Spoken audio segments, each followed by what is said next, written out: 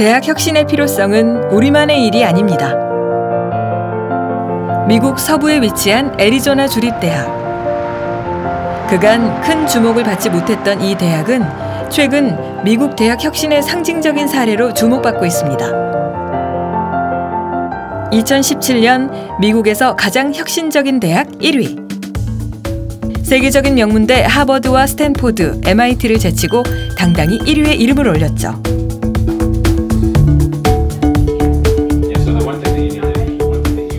이 놀라운 성과를 이끈 것은 2002년 부임한 마이클 크로 청장.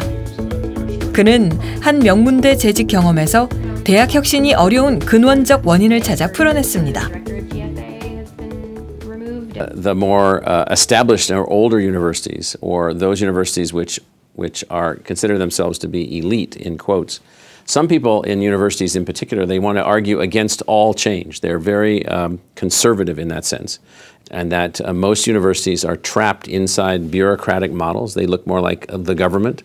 They look like agencies of the government that move more slowly and can't adjust and can't adapt. 15년 전 애리조나 대학은 어떤 모습이었을까요?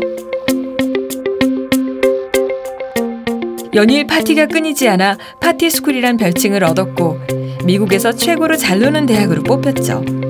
수업의 질은 낮았고 학업을 포기하는 학생도 부지기수였고요. 한때 술독에 빠진 학교로 유명했던 애리조나 주립대. 하지만 계속된 노력으로 2012년부터는 오명을 벗고 가장 혁신적인 대학으로 거듭나기 시작했습니다.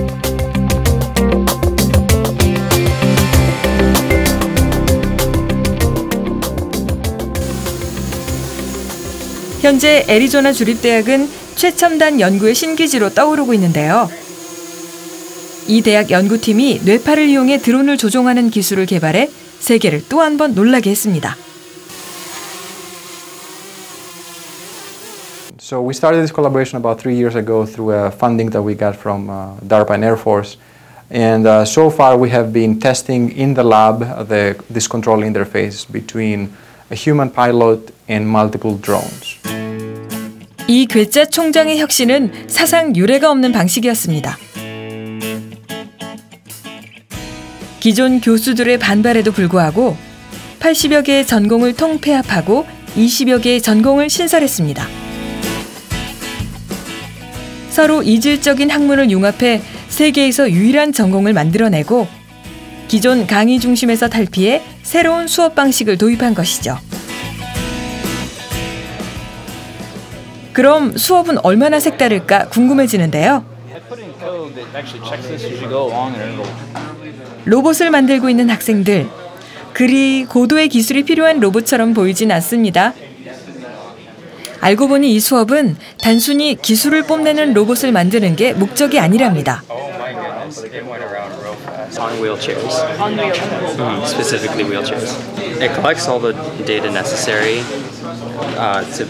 Uh, like follow traffic laws, turn right, turn left, that kind of thing, using all of its sensors and uh, what we have there. 미로처럼 만든 도로에서 로봇이 장애물을 피해 거동이 불편한 승객을 안전하게 데려다 주는지 테스트하는 과정입니다.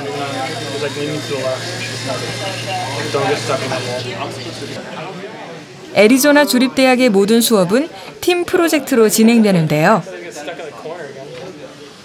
학생들 스스로 세상 속에서 문제를 찾고 해결하는 과정에 집중한다고 합니다. Is it going to automatically drop off? Not yet. Okay. Not all teams succeed in the in the entire project, but that's not the important part of the project. It's the the effort put into it and learning the engineering design process and following that and understanding how to apply it to solve complex problems. So it's switching back and forth really fast. I don't know why it's switching. That could cause some problems. I would 수업에서 교수는 강단이 아닌 학생들 사이에 있습니다. 가르치는 대신 지켜보는 역할이죠.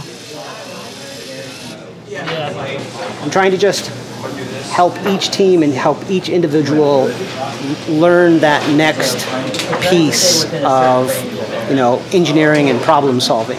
And, and so each student can advance as far as that individual student is capable. 애리조나 주립대학은 미 항공우주국 나사와 다수의 우주 탐사 프로젝트를 진행하고 있습니다. 그 비결은 다양한 전공을 연결하고 융합할 수 있는 능력을 인정받았기 때문이죠. 그 선두엔 지구와 우주 탐사 학부가 있습니다. 이 학부엔 기상천외한 과목이 있는데요. 지구에 생명체가 없다면 이 질문 하나가 한 학기 동안 배우는 수업이라고 합니다. 교수는 질문을 던질 뿐 학생들은 토론을 통해 각자의 답을 찾는 여정을 시작합니다. 이 과정에서 기발한 발상이 나오고 문제 해결력을 키우게 되죠. is a model where uh, no one in the class knows the answer that we're seeking over the course of the semester. So instead of having a sort of adversarial classroom where here I am, the professor, professing to the students who accept the information and then they give me something back, instead we're all on the same side looking outward at a different question. It's actually really inspiring when no one knows the answer and we're all practicing the art of learning an answer. 천문학과 지질학 등 무려 16개 학문이 융합돼 탄생한 새로운 전공. 수업은 하나의 질문에서 시작돼 꼬리를 물고 이어지는 질문을 따라가며 다양한 영역을 넘나들게 되죠.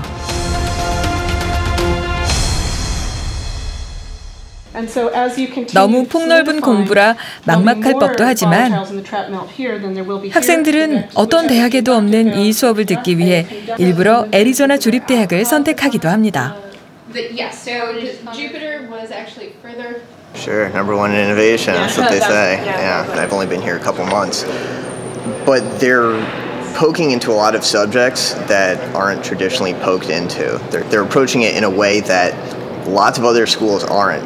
I got here and I had the option to move around in different directions and pick my own way to get there. 애리조나 주립대학만의 혁신적인 커리큘럼 중 하나가 바로 프로모드. 공학을 전공하는 1학년을 대상으로 하는 프로젝트형 수업입니다. 프로모드는 공학과 커뮤니케이션 등 3개 과목이 합쳐진 수업입니다.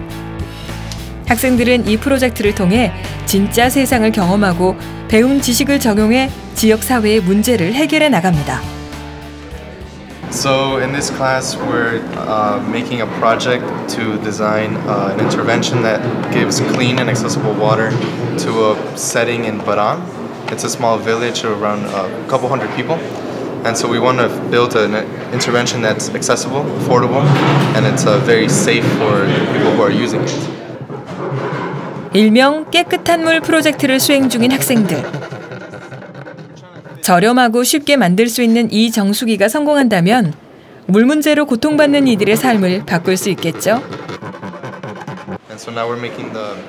These buckets. We're gonna make holes and make funnels like these ones right here, and then we're just gonna filter the water from the top all the way through the bottom, and it's hopefully gonna make the water more sanitary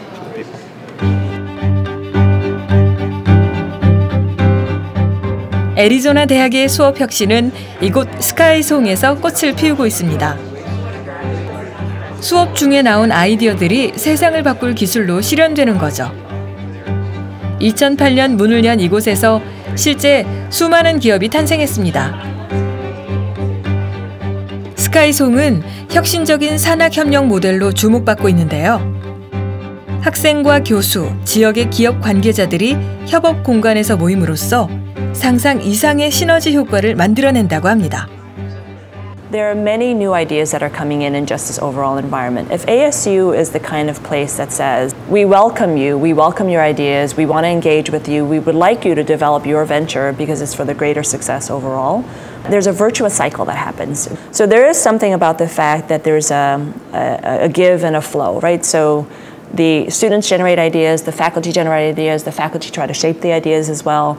Students give the faculty more ideas. 현재 대학원생이자 CEO인 헤더 씨. 평범한 자전거를 기발한 아이디어로 변신시켰죠. So 핸들을 손쉽게 끼우고 뺄 수 있게 하는 발상. 이런 생각은 왜 하게 된 것일까요? Billy bars is a space saving device. So by taking off the handlebars, you eliminate over 14 inches. So like in a scenario where you're in an apartment or something, this now can sit right up against the wall or on the wall so that when you're going through your house and stuff like that, you're saving a lot of space. 중국을 여행하던 중 자전거 주차 문제가 심각한 걸 보고 떠올린 아이디어가 창업으로 이어졌습니다.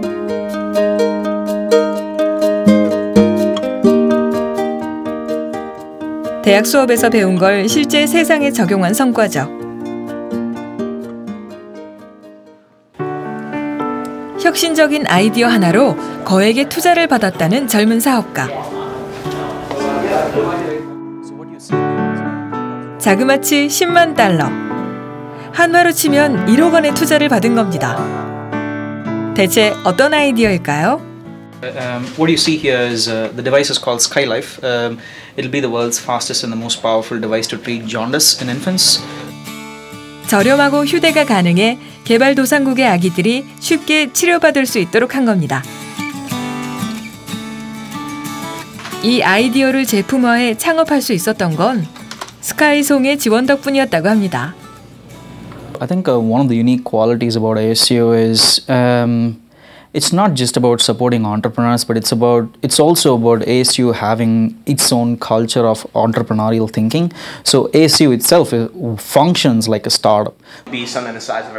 대학의 수업이 바뀌며 애리조나 지역 사회까지 변화는 들불처럼 확산됐습니다. 새로운 기업이 탄생하고 수많은 일자리가 생겼죠. 오늘도 이곳에선 진짜 세상에 부딪혀 창의적으로 문제를 해결하는 인재들이 자라고 있습니다. Even in, you know, if they're an employee for a large company moving forward. Um, even if they decide themselves that they'll never become an entrepreneur, they'll never want to remain the CEO or a founder, all of those skills, identifying problems, understanding needs, understanding how to meet those needs, solving for X, building teams, working together to, you know, uh, even promote those ideas, all of those are transferable, not only for future employment, but also for your life. That you become the master of solving any problems that you might see. Anytime you try to bring about change in anything, there's going to be people that oppose the change. And so, what I said along the way is um, we're changing, and we're changing to be better servants to our students. We're changing to produce better solutions for our society. We're changing to make sure that we can have economic growth continue to accelerate and not leave people behind. We need to change if we want everybody to be employable and have jobs and have meaning and purpose to their lives. And so if you want to do all these things, we need to change.